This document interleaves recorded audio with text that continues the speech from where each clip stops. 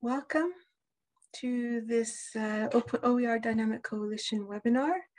This is uh, about the fifth one in a series, and this one is a very special one because we're looking at capacity building on how to OER.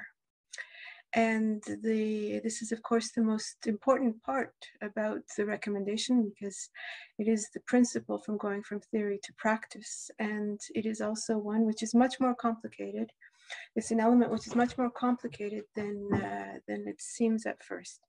Today we, uh, we have with us a very interesting panel. Uh, the first speaker will be Dr. Wayne Mackintosh. He's the UNESCO OER Chair in New Zealand, and he's also a director of the OER Foundation.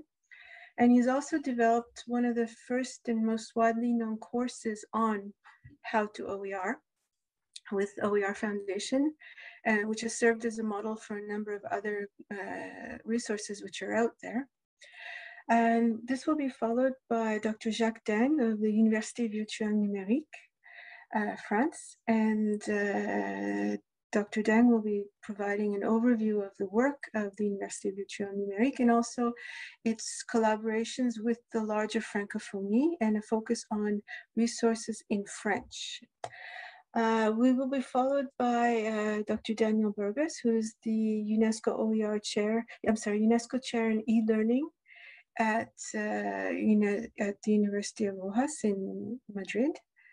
And um, he is, uh, he's, we're very fortunate because he will be talking about an initiative in the Mediterranean and also an initiative in Spanish, which is uh, also important. And finally, we will be uh, we, uh, we will have an intervention from Dr. May Ahmed Shamandi, who is the director of uh, the regional uh, the regional center for ICT, uh, which is a category two uh, in education, which is a category two center of UNESCO in Bahrain.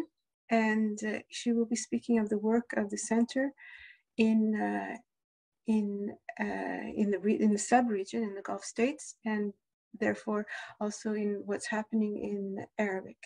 Now, as you can see, we're looking at the different languages and we're looking at the different perspectives. And the reason for this is that it's the while the uh, recommendation talks about the importance of capacity building, of course, there's also a dimension of multilingualism and accessibility.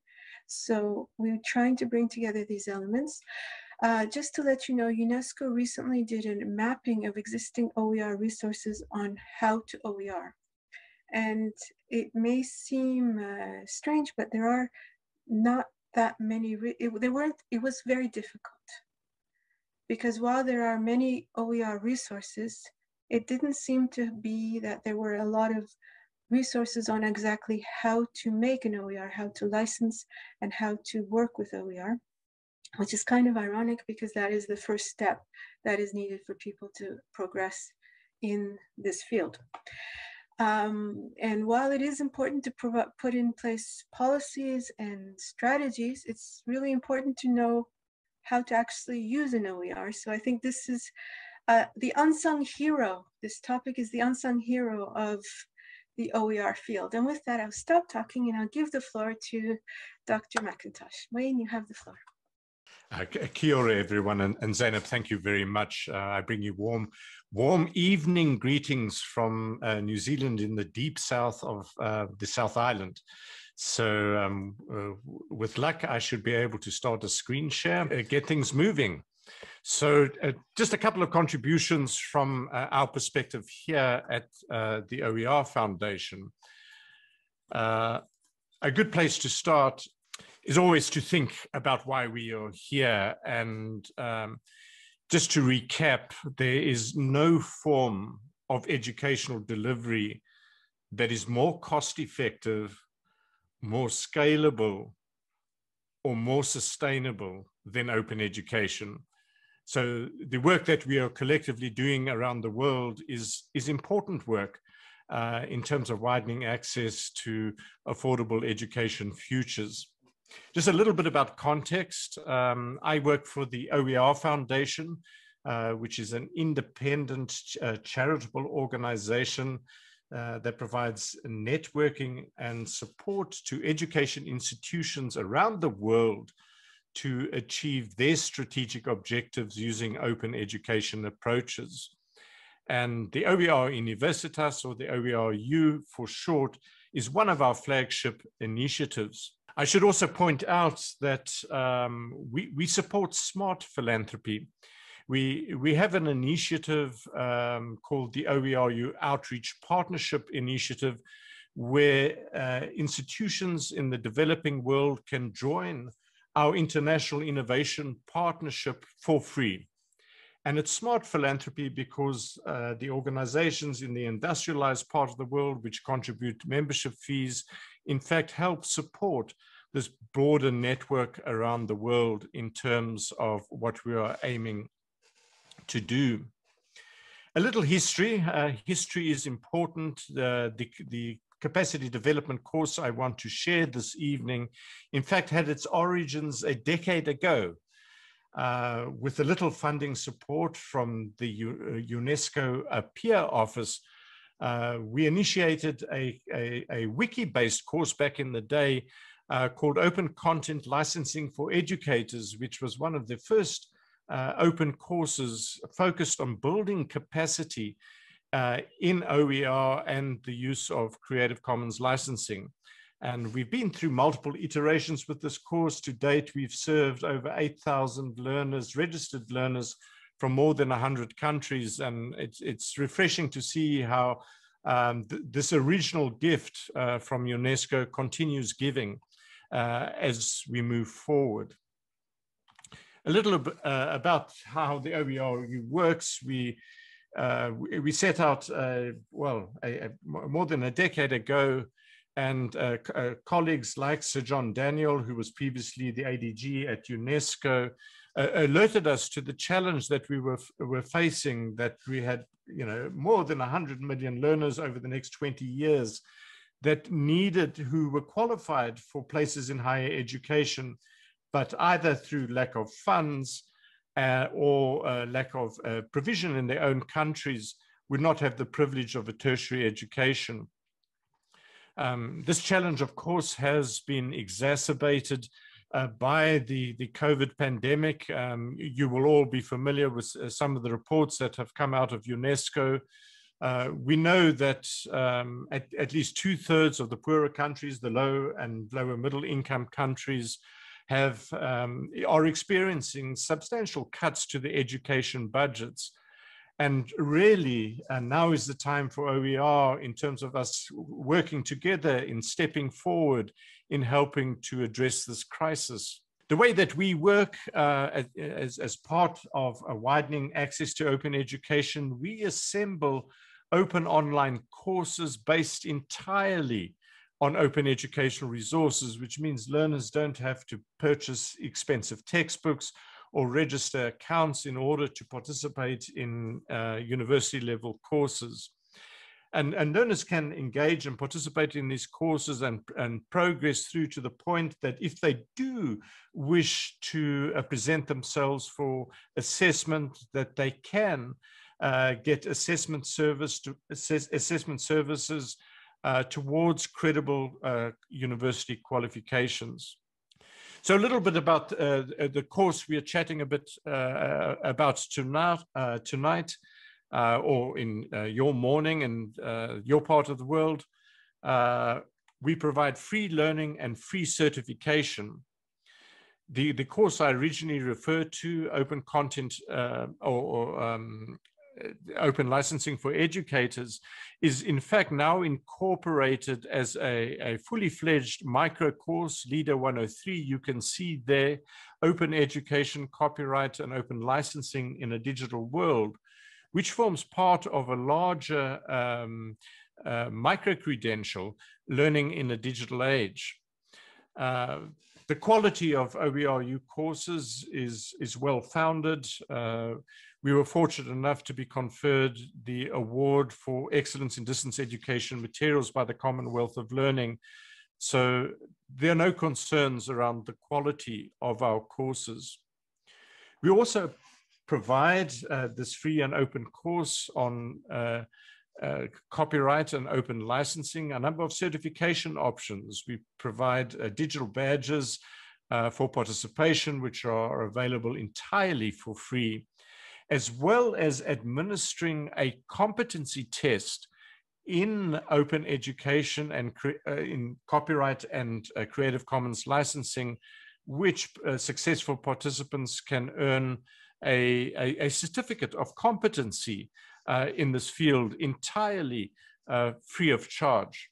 What is interesting in, in terms of the course, uh, our entire infrastructure is based on free and open source software. Our course learning materials are published on a course website. We use uh, WordPress uh, rather than a learning management system, and that is by design. Uh, we want to make it easy for any institution in the world to be able to host and replicate this open course at very low cost without the need to uh, implement a learning management system. Uh, we use uh, an, a, a, best of breed open source software technologies to support student interaction uh, for learners who are engaging in the course. As you can see, uh, we have developed what uh, some are, are terming, uh, terming a, a next generation digital learning environment using this distributed network of communication technologies that are entirely open source, which means that learners do not need to sacrifice their personal data in order to engage in learning uh, through the OERU network. We have another course uh, for uh, educators that may be interested in developing uh, online courses using this open infrastructure called uh, Digital Skills for uh, Collaborative OER Development, which is another open course which is available on this open platform uh, to support UNESCO's recommendation, particularly the action area around capacity development. So let me just uh, leave it there. I mean, I think the, the work that we're doing is an illustration that while many institutions believe uh, in the value of uh, widening access to learning, what is hard to achieve as single institutions becomes achievable working together as a collaborative network.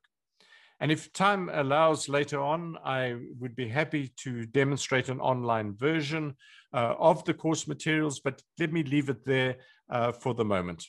Thank you very much, Wayne. Um, our next speaker is uh, Dr. Dang, and he's going to make a link, I think, in part of his presentation to some of the work uh, that's been, the links that have been done between New Zealand and the Francophonie. And with that, I am uh, Professor Dang's presentation is in French, I think, so you might want to put on your, might want to go to the interpretation, which is the globe, if you need to have it uh, interpretation and pick English if you would like to hear it in English. Thank you very much. Uh, Jacques, the floor is yours. Bonjour à toutes et à tous, merci de votre accueil. Donc, je suis Jacques Dang et je représente l'Université numérique de France qui fédère euh, plusieurs universités numériques disciplinaires et je vais revenir euh, sur ces différents points dans ma présentation.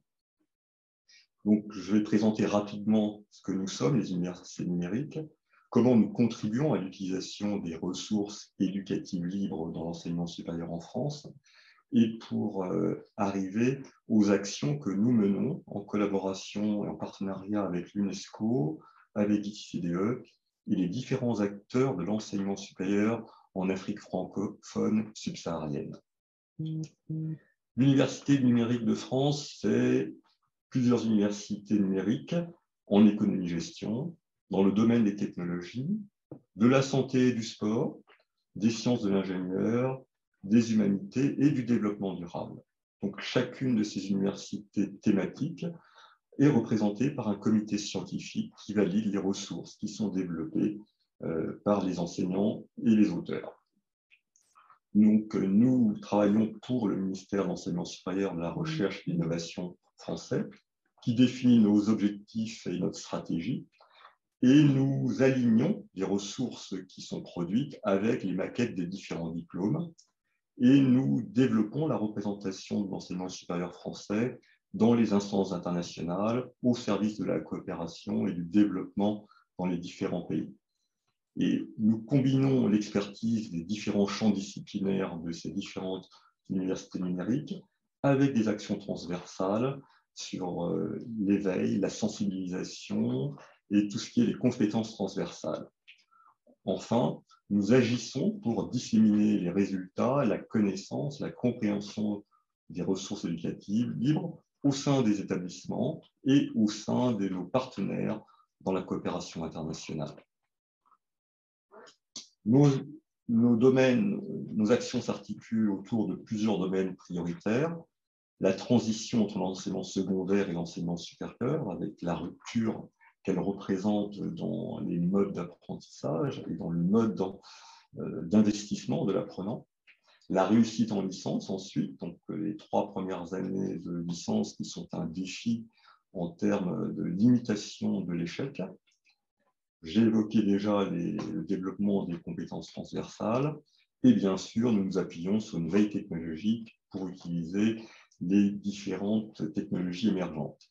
Enfin, nous mettons en œuvre l'ensemble de nos capacités, de nos ressources pour améliorer l'inclusion numérique en France et aussi dans les différents pays membres de la francophonie. Voilà un petit peu le panorama des ressources que nous avons qui euh, servent aux apprenants pour apprendre, se former, préparer les examens. Et on peut avoir donc euh, des ressources vidéo, des MOOC. Et toutes ces ressources sont accessibles au travers d'un portail national avec, je le disais, des ressources validées par un comité scientifique, validées par des ingénieurs pédagogiques, indexées donc, euh, par les standards LOM qui vont évoluer vers MLR et qui sont moissonnés par un standard qui permet la collecte par l'ensemble des acteurs et des apprenants. Nous nous appuyons sur ces développements technologiques pour euh, migrer ensuite vers des plateformes Moodle nationales et coordonner les échanges entre ces différentes plateformes pour diffuser le plus largement possible les ressources dans nos différents pays partenaires. Au-delà des ressources, nous avons également des diplômes communs que nous mettons en œuvre. Un des exemples en termes d'inclusion est le projet SONAP, qui est commun aujourd'hui à une dizaine de regroupements d'universités, qui représente un diplôme 100% en ligne à partir de ces ressources éducatives libres et qui vise à rapprocher de l'enseignement supérieur les apprenants qui, malheureusement, ont été amenés à renoncer à la poursuite de leurs études pour différentes difficultés. Donc, ce sont des personnes qui peuvent être empêchées, qui sont à leur maison pour des raisons, par exemple, médicales, qui sont dans des lieux où les universités ne sont pas présentes, mais où les collectivités ont mis en œuvre un campus connecté, un tiers-lieu. Et cela peut s'appliquer également à des personnes qui sont en détention et qui peuvent préparer leur reconversion pour la sortie de cet environnement.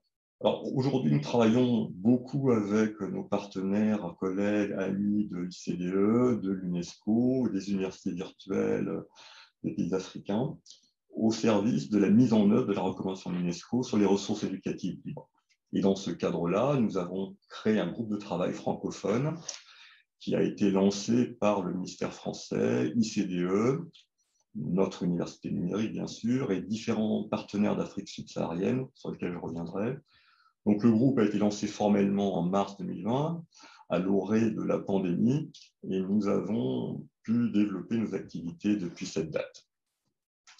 Donc, les membres donc, j'en ai cités, ce serait notamment ben, évidemment l'UNESCO, la Commission nationale française pour l'UNESCO, l'Organisation internationale de la francophonie, ICDE. Avec ICDE, le partenariat est étroit dans la mesure où ICDE vise d'abord une population euh, anglophone, des apprenants anglophones, et nous leur apportons un regard, une, capacité à mutualiser avec les pays et les acteurs du monde francophone. Nous avons, sommes déjà en contact avec les partenaires que nous voulons euh, faire participer à ce groupe de travail, les universités virtuelles des différents pays d'Afrique, aujourd'hui le Sénégal, le Mali le Congo, demain d'autres pays, également des ministères dans ces différents pays, parce que l'articulation entre les ministères et les universités est cruciale pour faire adopter des politiques et des stratégies nationales qui soient cohérentes, et également, il faut le dire, des universités physiques et des partenaires euh, du secteur de l'EdTech. Donc, euh, nous soutenons des initiatives qui existent d'ores et déjà, comme l'initiative du bureau de Dakar de l'UNESCO pour soutenir les pays du Sahel, au Burkina Faso, au Mali, au Niger, au Sénégal. Nous avons contribué des ressources pour la plateforme de la continuité pédagogique de la République du Congo. Et nous déployons des ressources, je le disais, en partenariat avec des universités des universités virtuelles. La dernière en date étant, par exemple, l'Université Cheikh Anta Diop de Dakar. Enfin, nous collaborons avec ICDE sur une enquête qu'il réalise, qui a une couverture, vous le voyez sur cette carte, essentiellement de pays anglophones. Et c'est donc là que se trouve la synergie avec ICDE, puisque nous allons apporter beaucoup de pays en gris en Afrique francophone au sud du Sahara. Donc, avec Wayne McIntosh de OIR Universitas, nous avons participé à l'adaptation de ce cours qui donne accès à un test certificat de compétences sur le copyright et les licences libres, le cours LIDA 103. Donc, c'est un cours qui a été développé par OIR euh, Universitas l'Université d'Otago. Et donc, l'action mise à disposition de l'environnement français été coordonnée par ICDE, OIRU et l'UNESCO. La traduction remarquable faite par l'UNESCO, et je les en remercie très chaleureusement. Et nous avons participé à la revue technique euh, et à la validation pour l'environnement euh, francophone, avec notamment la, nécessité de bien adapter ce qui relève de la propriété intellectuelle, du copyright, euh, dans un monde aussi bien de droit anglo-saxon que de droit civil. Et avec cet outil, nous souhaitons contribuer au renforcement des capacités dans les pays d'Afrique francophone, notamment au travers de l'actions de sensibilisation auprès des acteurs. Et c'est une démarche que nous souhaitons pouvoir mettre à disposition d'autres communautés linguistiques, et notamment en Afrique, la communauté lusophone. Donc, le 9 juin prochain, nous organisons un premier euh, atelier euh, francophone en mode virtuel. Il s'inscrit dans la continuité d'un forum ministériel qui est organisé par le bureau de l'UNESCO à Dakar la veille, et avec laquelle dans le cadre duquel les ministres donneront une impulsion forte et nous serons chargés, dans le cadre de cet atelier, avec des représentants de ministères et d'institutions d'enseignement supérieur, de développer des plans d'action pour la mise en œuvre opérationnelle de l'usage de ces ressources éducatives. D'autres ateliers suivront dans l'année, donc euh, notamment à Nantes dans la conférence euh, Open Education Global, à Open euh, Online à Berlin, et nous souhaitons vivement une réunion face à face lors d'une grande conférence en Afrique en 2022. Voilà, je vous remercie de votre attention et je suis disponible pour répondre à toutes vos questions, vos sollicitations et je vous remercie de votre attention. Merci beaucoup Jacques pour cette intervention et pour montrer aussi le lien entre ce qui se passe en Nouvelle-Zélande et dans le monde francophone qui, qui est quand même très impressionnant et le travail important qui est mis en place par le monde francophone euh, pour assurer que, pour soutenir le renforcement de capacités dans ce domaine très important.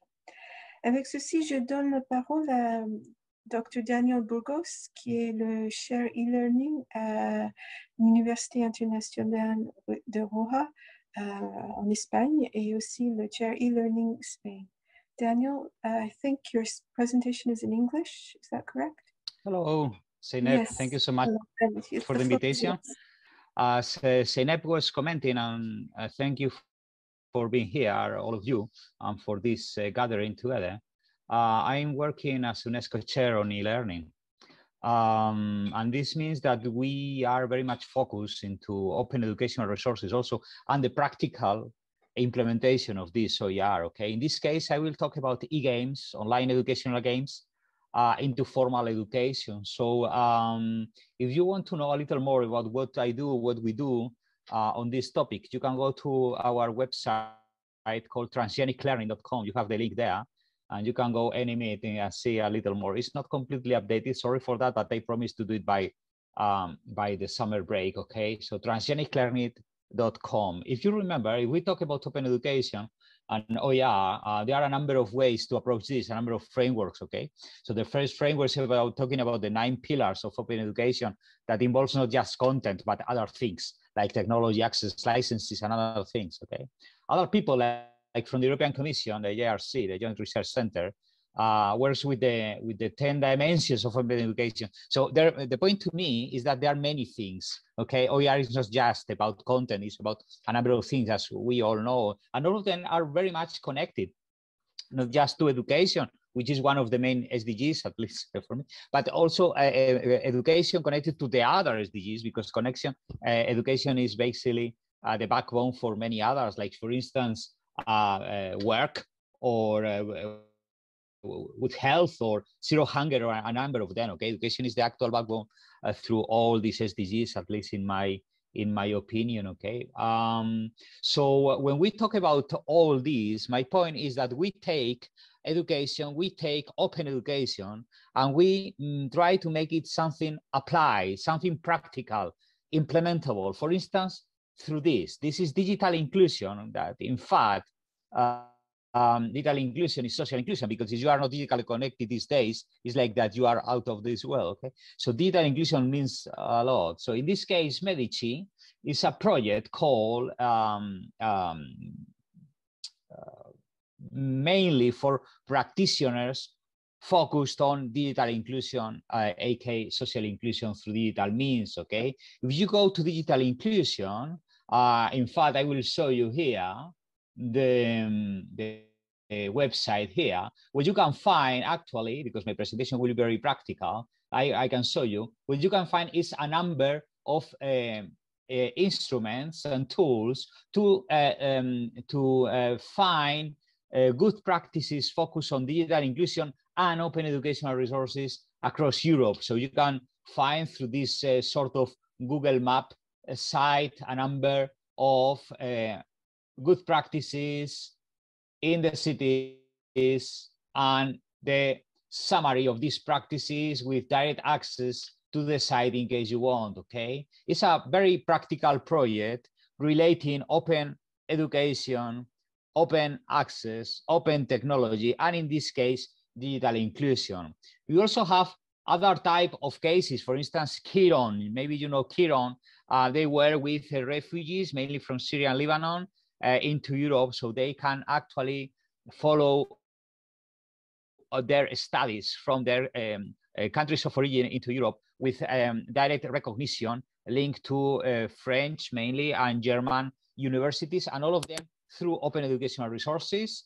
We have also Khan Academy, which is very known, but um, um, it's uh, very much used for school teachers to integrate open educational resources into the formal education, which is the main topic of this presentation. And of course, we have FADA, which is a repository in um, open with open educational resources in Arabic, mainly used in Middle East. Um, university like in Palestine, for instance, or in, in Jordan. And we also have for sure, I wanted to put here just a mention to my colleague Wayne Mackintosh. Hello, Wayne, how are you doing? Thanks for your presentation about the Open Educational Resource University, which is uh, largely known and a very practical way and project to integrate open educational resources into the formal education for everyone. So there are a number of case studies that we can use. For instance, in this case, how to integrate OER into uh, formal education. OpenED, UNIR.net, is a, um, uh, is a repository, a hub of courses designed and produced by European projects so you can go to Keystone, Inspiring Science, OpenMed, and out of them you can retrieve all these courses and enroll for free. You can find it here. This is OpenED, and you have courses in English and in Greek and in Arabic and in French and in Spanish, of course. And you can go there, register for free, and use them as sort of a MOOC. We have around 3,000 students uh, right now enrolled. In addition to OpenMed, what we can find is, for instance, this, the open policy. UNIR, my university, uh, Universidad Internacional de La Rioja in Spain is the largest university, online university in Spanish in the world. And we develop an open policy in Spanish and English to be carried out and implemented by our professors at the institution. You can go to this policy here also, and you can find all the definitions, introduction, background priorities that we have settled in our university also thanks to the contribution of many people, because in fact, this was um, really supported not just internally, but also externally by a number, this is the internal, all the rectors by rectors, departments and everything. So, and the final thing, how to integrate these resources into formal and in this case, working with games. There are two projects called Open Game and Compete, Compete Project that work with uh, uh open uh, online educational resources, online educational games as resources into formal education. You have the links there, and I can show you briefly. The first one is called Compete, focused on entrepreneurship competencies, okay? So you can work mainly with stress, uh, um, with um, uh, students that work later in the market.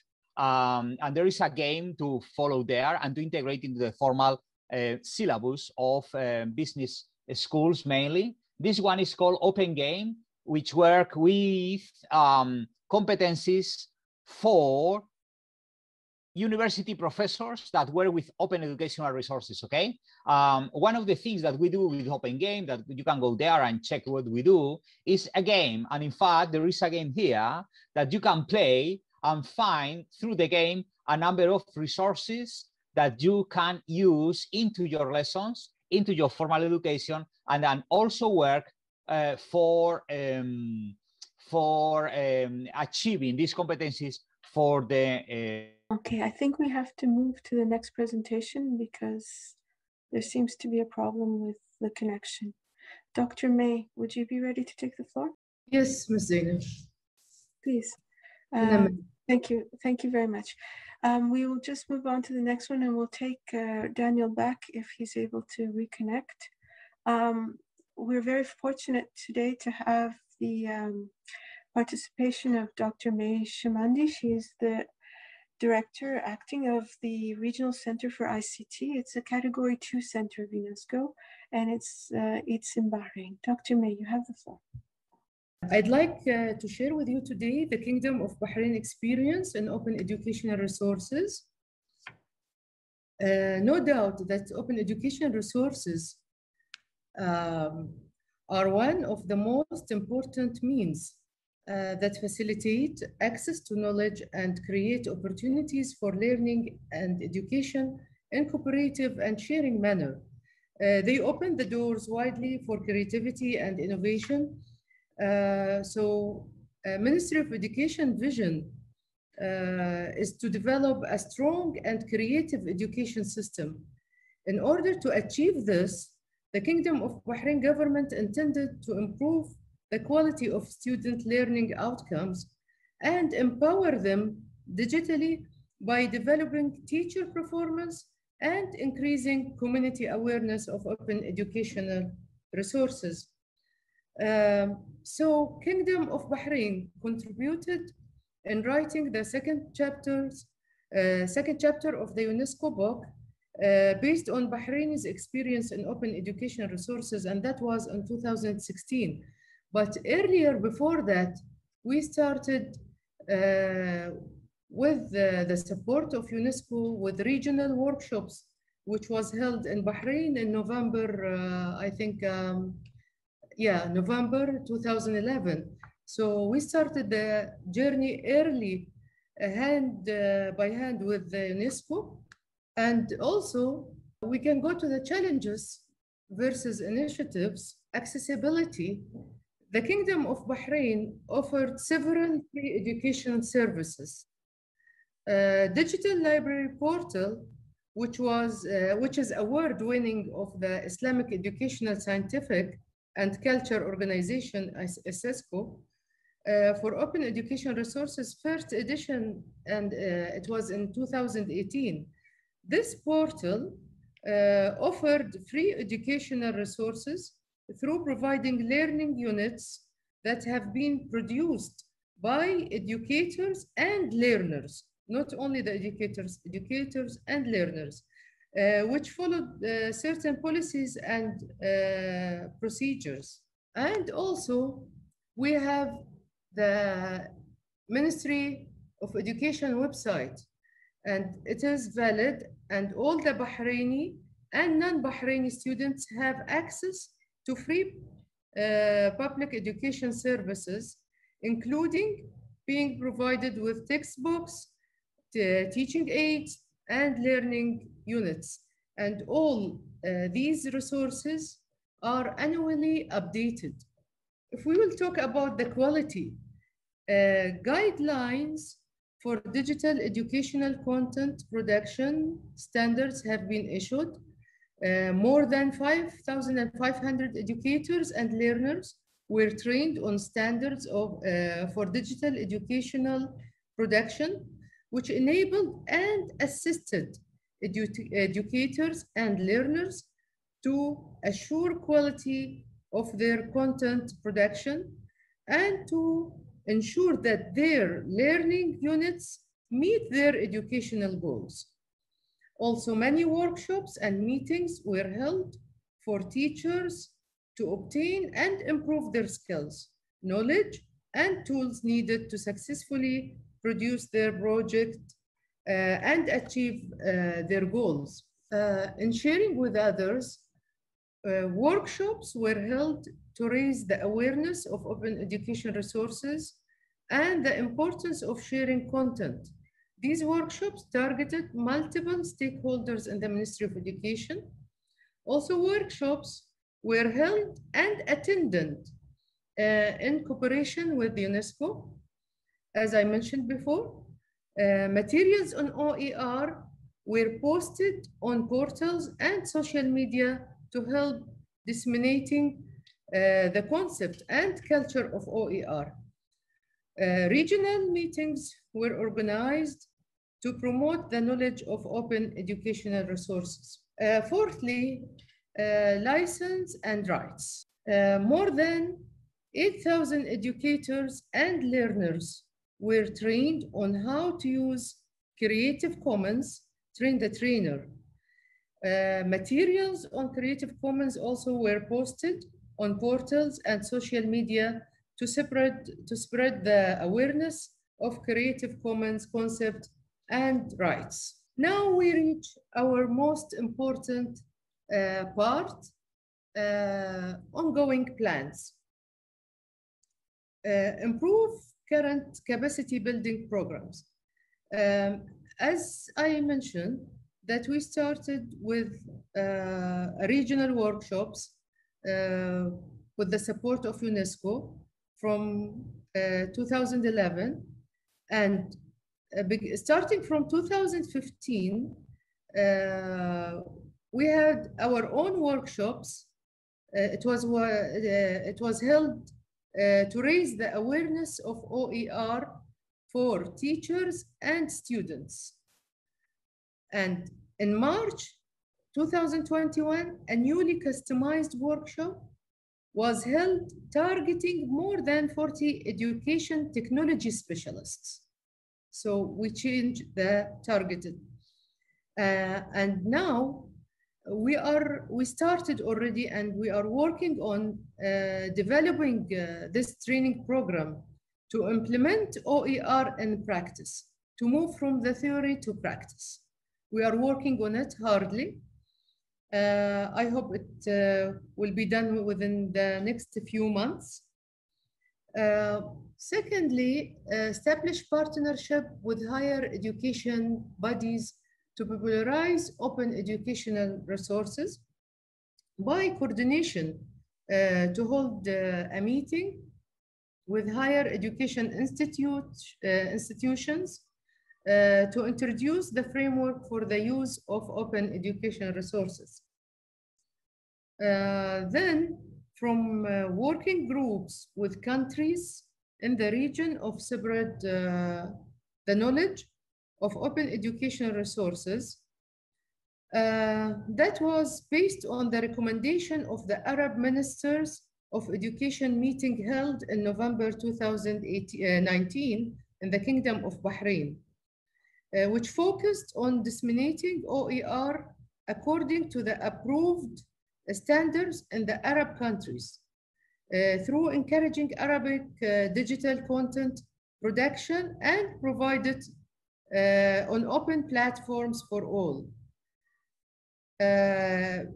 benefiting from RCICT. So according to that, RCICT uh, in cooperation with ALECSO arranged a meeting with around 14 Arab countries members in which they exchange knowledge of OER and build uh, five uh, different working groups uh, these groups are policy and planning team, standards team, capacity building and development team, open educational resources platform development team, and finally, partnership, uh, partnership enhancement team. And that was really a big job, and we are going and working on it right now. Uh, then arrange meetings with, web, uh, with webinars, uh, arrange meetings and webinars to exchange knowledge and experience on Creative Commons and its right. Uh, coordination to hold meetings and workshops on uh, protecting intellectual property rights and uh, Creative Commons license. Uh, so a webinar will be held by end of May. Uh, further develop the existing digital library portal, which is uh, an open education resources portal as mentioned previously. Uh, in conclusion, uh, allow me please to extend to UNESCO stakeholders this fruitful meeting and I would like to particularly thank Ms. Zainab and Ms. Eleni for all the effort and support provided from their side and their uh, constructive communication. Thank you. Thank you very much, Dr. May. Uh, thank you very much for sharing the important work being done by the RCICT in Bahrain. I would like to just see with um, Daniel, uh, Daniel, uh, Professor Burgos, if you would like to just take the floor again. He got frozen in the end, but now he's defrosted. Yes, sorry so for that. Thank okay. you so much, Zeynep. Uh, I, I, was frozen, I don't know exactly how, but anyway, I can just catch up uh, with a last message. I don't know exactly where I was uh, frozen, uh, but um, we can we can do we can do something on that. So I will share the screen now, if that's okay with you.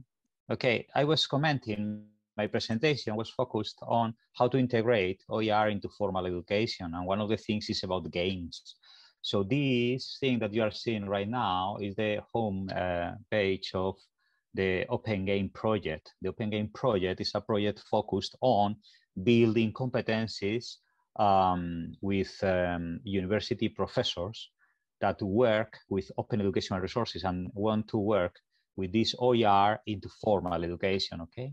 So th through the development of a game, a serious game, we, we get that. So uh, this is the website that you can go anytime there. And this is the game itself. Uh, you can find the game very easily. And the game is a very simple one, cartoon style one, where you can go through a number of modules, or in this, in this case, classes and laboratories, classroom, and find how the things are there. For instance, this is the auditorium, and you can find a couple of people where um, uh, suddenly you need to find a number of clues to follow and to find the information, okay? Um, and finally, uh, get access to a number of resources and content and a number of analytics about what you have done. So the point is that through this game that is open, it's not still released, but it will be in one month or so. Through this game, you can find a number of resources to build competencies for university professors. And this is a way to integrate games um, um, or, as an OER into formal education. There is another uh, game here in Compete, a Compete project that also create a, a, game to manage stress into academic managers. And this is again an open educational resource that will be delivered into formal programs, university programs, maybe mainly into business schools to manage this stress uh, for academic managers. Um, finally, if I if I can, uh, just to leave my data, just in case you want any information further about how this OER focused on online educational games can be integrated into formal uh, formal academic programs. Thank you so much, and my apologies again for the technical glitch. Thank you so much, uh, uh, Daniel, and uh, thank you to all the panelists. I think we've had a, a tour of the world and the languages to some degree, and um, we've been very fortunate. We've seen that, in fact, there are courses on licensing and developing and using, reusing OER, and there is also a link made in many contexts to um, to open education, which takes into account the openness of many different aspects of the educational process. And of course, there is the links to, um, to ensuring that there is uh, there is advocacy to uh, to different stakeholders to understand better the value and the uh, of OER to the educational sphere, especially in today's current context in which, as Dr. Burgos pointed out, digital inclusion is social inclusion. Um, we have a number of questions. I will just go through them. We have some time. We might go over by three minutes or so, but we'll go quickly through the questions. The first question was to Dr. Wayne Mackintosh, OER Foundation. Uh, is the course still available, the OERU course? Wayne? Oh, yes. Uh, it, uh, we have, the, the course is openly available for free registration. Any person uh, in the world can join at any time uh, to participate, and we're happy to speak with any organizations uh, that want to extend capacity development. It's, it's a free gift uh, that we're sharing with the world, and um, our mission is to help people learn how to do OER. So yes, it is okay. totally available. Wayne, perhaps you'd like to put the link into the chat and into the into the question answer so people can go if they want to find out more. Would that be okay? Sure. I, I'm, I'm happy to do that. I'll okay. do it right away. Okay. Um, the next question was an exchange between Djibouti and uh, UVN. I think it was resolved. Um, it was, and so if it's okay, we'll skip over it. Uh, the next one is also from Djibouti. Uh, read it out loud for the interpreters. Comment inciter les enseignants à créer les REL et les partager sur une plateforme? Can I just go through the panelists? Maybe start with Jacques. Merci Zeynep. Je crois qu'il y, a plusieurs éléments. Il faut effectivement avoir euh, une partie d'infrastructure technologique et de soutien des autorités et le cadre juridique qu'on a évoqué avec le cours LIDA 103. Ensuite, le plus important, c'est effectivement de convaincre les, chaque enseignant. Euh, on peut avoir des approches larges, et les approches individualisées euh, dans mon institution d'origine, c'est vrai que nous avions pris l'habitude de traiter chaque enseignant comme un auteur, un artiste, et de, se mettre à sa place et de voir ses préoccupations pour pouvoir intégrer l'usage des ressources éducatives libres dans son cursus, dans son activité, dans son programme d'enseignement et de recherche. Donc c'est important de prendre en compte les besoins des auteurs, des enseignants, tout en ayant un cadre juridique, technologique, économique euh, qui euh, facilite plutôt qu'il ne inhibe euh, leur volonté de, de, créer des ressources. Thank you, Jacques. Uh, uh, let's move on to the next. Daniel, would you like to add in? Yes, sorry. I think that the translation was messing up with the audio. Uh, I think that the fight here is about the right balance between the licenses. Uh, in addition to what Jacques was just saying, which is right uh, right away, and I think it's very very right on that. I think that the, the, actual fight is how to integrate all the, the different types of licenses. Okay, so the OER can be actually integrated with the proprietary resources, and then to find a sustainability model there just to survive everyone. So the, the point to me is that there is no choice. It's not just a binary code uh, where you can select to either or you can go to one corner or the other. We need to find a common agreement, and this is the actual key for a real implementation in my in addition to the others. Okay, but uh, to me the license is the actual key to open the box. Thank you. Okay, thank you. Uh, the next uh, the next question is seems to be to Wayne Mackintosh from Paul West. You're both uh, COL alumni, so uh, at Wayne Mackintosh, could UNESCO at UNESCO hmm, help to connect with possible sponsors for such micro skills courses? I think you're um, Paul, you're referring to the LiDA courses. AIM IMHO could, should be to support the most essential SDGs to help elevate, elevate alleviate poverty. Wayne, go ahead. It's aimed at you.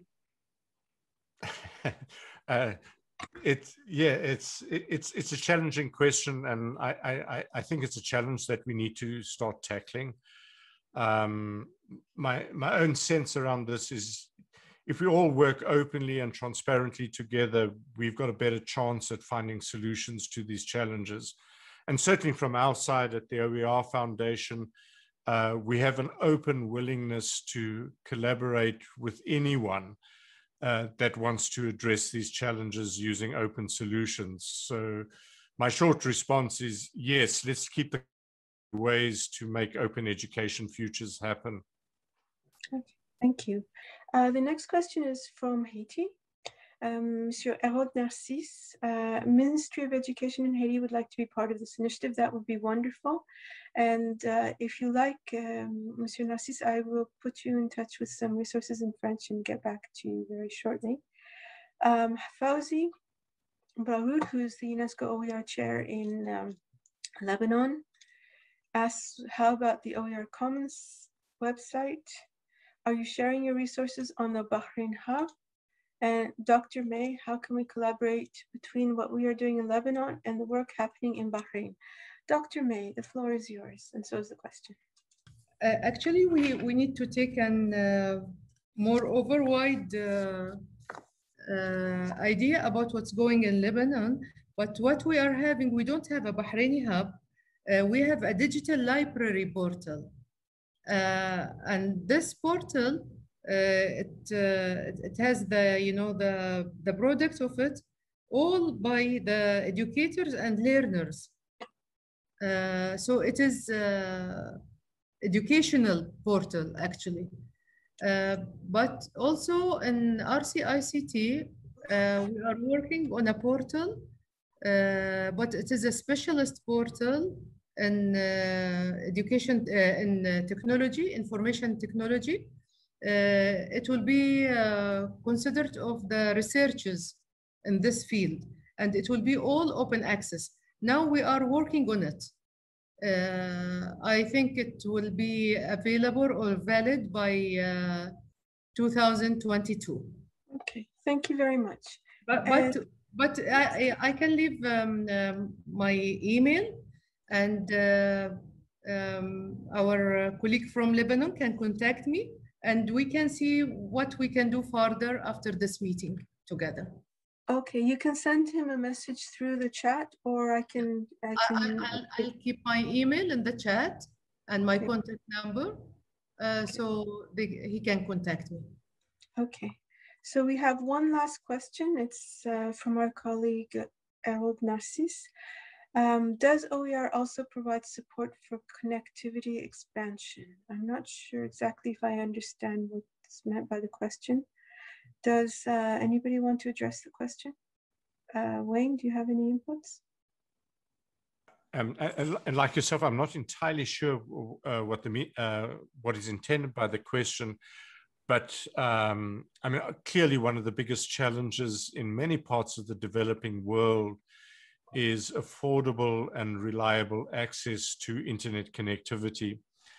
And um, you know, this is a challenge we we are facing in many parts of the world, but increasingly um, there are alternatives for more affordable access um, using you know mobile connections and, and and the like.